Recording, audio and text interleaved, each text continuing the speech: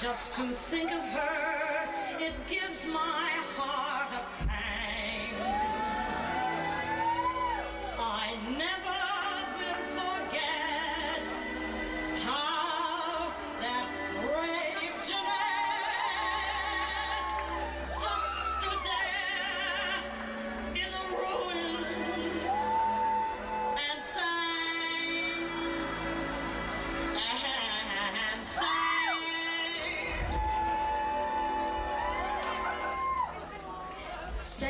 Francisco. Open your mouth.